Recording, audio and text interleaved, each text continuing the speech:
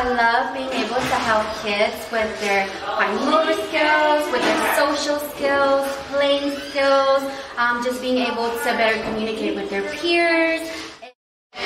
I love Rise because we're just like a family, and as leadership, not only do I get to see the kids grow, but I get to see the therapists grow as well. I love Rise because we put the kids first, but incorporating their sensory needs while still creating a fun and safe environment for them to learn and work in.